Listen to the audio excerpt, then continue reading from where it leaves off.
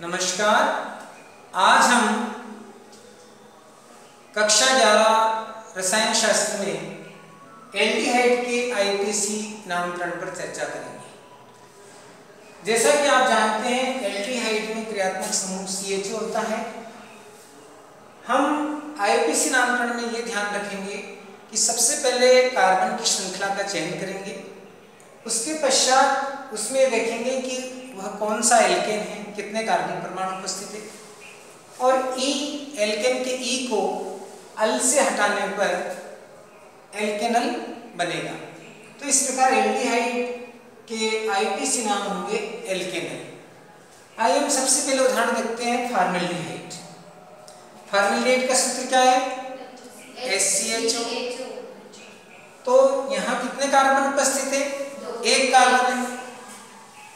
इसलिए इसका एल्किन क्या हुआ? मेथेन इसमें क्या लगा देंगे? तो क्या बन जाएगा? मेथेन तो इस प्रकार फार्मेल्डिहाइड का आईपीसी नेम क्या हुआ? मेथेनल अब बात करते हैं दूसरे उदाहरण की एसिटल्डिहाइड एसिटल्डिहाइड का सूत्र है C S three C H O इसमें कुल कार्बन है दो. इसलिए इसका एल्केन क्या हुआ? एथेन एथेन में अल शब्द जोड़ देंगे तो क्या बन जाएगा? एथेनल तीसरा उदाहरण है प्रोपेनल्डिहाइड। इसका सूत्र है CH3CH2CHO अब यहाँ पर हम कार्बन परमाणु का अंकन भी करेंगे नंबरिंग करेंगे।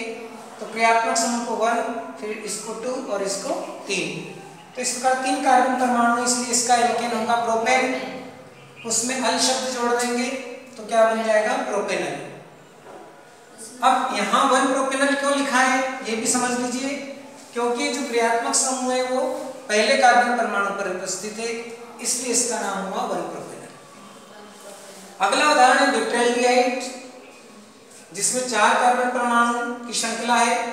तो यहाँ आप देख रहे हैं CHO, CH2, CH2, CH3 और चूँकि CHO पहले कार्बन पर उपस्थित है इसलिए हमने क्या किया? ब्यूटेन में अल शब्द जोड़ करके ब्यूटेनल बना लिया एपीसिनल और वन क्यों लगाया? क्योंकि क्रियात्मक समूह CHO पहले कार्बन परमाणु पर उपस्थित है तो इस प्रकार ये वन ब्यूटेनल बना।